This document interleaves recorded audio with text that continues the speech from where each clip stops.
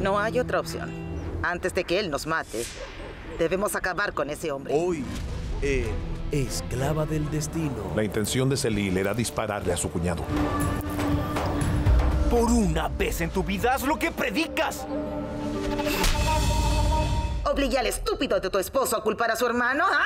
Te voy a matar, maldita. Esclava del Destino. De lunes a viernes a las 11 de la mañana por Antena 7.